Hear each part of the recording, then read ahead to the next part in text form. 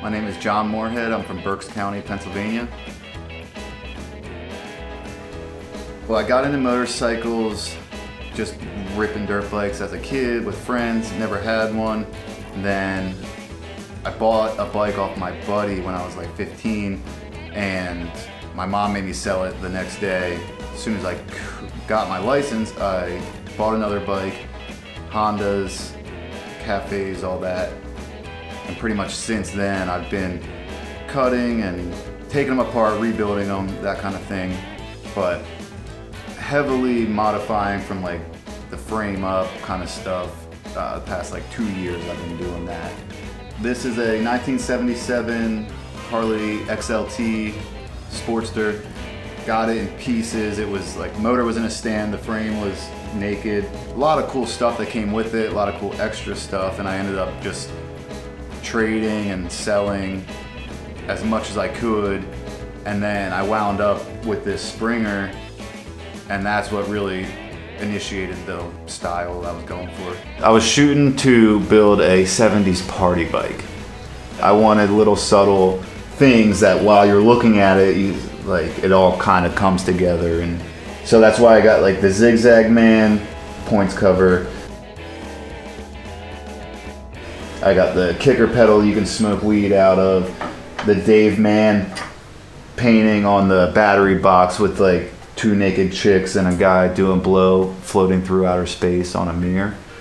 Um, I got the roach clip valve stem caps, the joint stitched onto the seat, and then I have these sweet little like weed nugget cast in resin that screws on to the hold the seat on. I want to thank Bubba, my painter, Vintage Groove Technologies. He is definitely played like one of the biggest parts in this build. Paint was a big surprise. I wouldn't call it a setback. It was more so just a surprise. Um, originally the bike was supposed to be like cream and with like little brown accents. We were shooting for like the end of a cigarette after you smoked it, like the filter.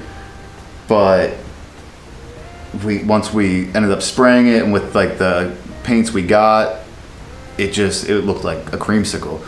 So then we scrambled and ended up, we didn't have time to reorder new stuff. So we wound up with this and I couldn't be happier with, I'm the last person who would say, let's paint it yellow, but I fucking love it. So, uh, so some parts I love.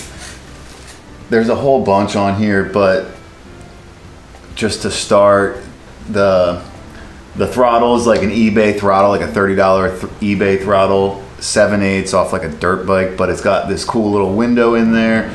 Showed up anodized and lame, so I stripped the anodized, polished it, and now it's got like this cool little window. You can see like the throttle mechanism work uh, for these weird, wacky 70s 7 eighths bars.